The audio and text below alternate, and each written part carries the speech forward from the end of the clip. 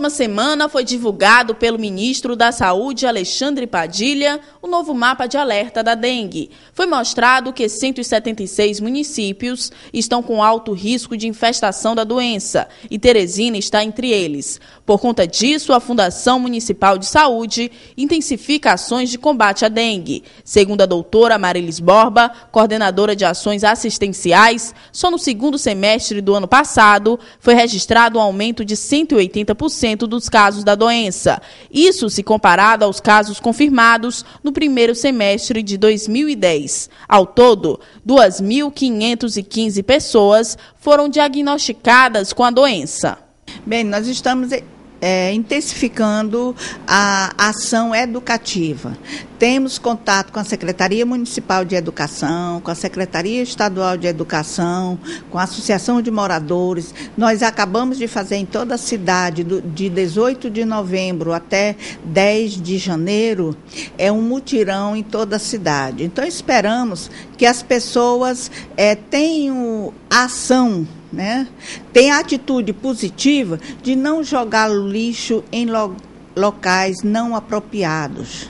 Porque o que está acontecendo é que a prefeitura limpa, em menos de 48 horas já está tudo lá de novo, já tem lixo. Parece que mina lixo desses locais. Então precisa uma atitude positiva, porque a preocupação da fundação é grande, porque tem vários fatores agravantes para esse ano de 2011. Primeiro, a chegada do vírus tipo 4, que nós não, as pessoas não, não tiveram ainda dengue pelo tipo 4. Então todos nós estamos é, correndo risco. Segundo, esse achado da Universidade Federal de Minas Gerais, em que um mosquito pode albergar dois vírus diferentes da dengue ao mesmo tempo. E o que, que acontece se o mosquito Aedes aegypti fêmea injeta esses dois vírus no seu corpo? O que, que acontece? Então, existe agora um, muitas perguntas que os cientistas, os pesquisadores terão que responder. E terceiro é que nós temos mais pessoas que já tiveram dengue pelo menos uma vez.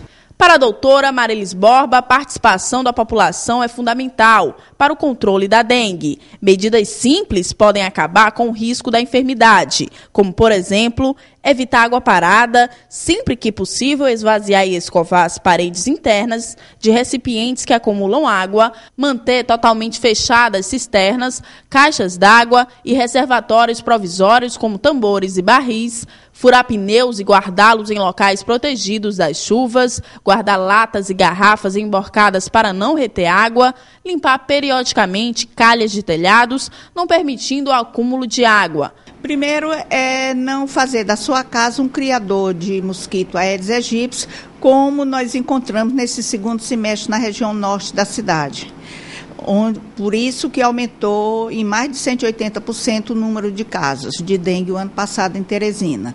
Além disso, nós fizemos um seminário dia 9 e dia 10 de dezembro para os profissionais da área de saúde e, e já começamos umas rodas de conversa com as equipes dos hospitais municipais, os médicos e uma outra palestra, uma roda de conversa com a equipe de enfermagem, no sentido de que os pacientes pacientes, ao chegar às nossas unidades de saúde, têm o tratamento adequado. Mas caso a pessoa suspeite que esteja com a doença, a doutora faz um alerta. O importante é a hidratação. Se você estiver bem hidratado, e como é que eu sei que eu estou sendo bem hidratado? Se eu estou urinando branco feito a água que eu bebo. E é importante destacar que com o cessar da febre, não diz que você tem que parar esse cuidado com a hidratação. O cuidado deve permanecer por pelo menos três dias, porque às vezes a complicação da dengue aparece após a febre ter passado.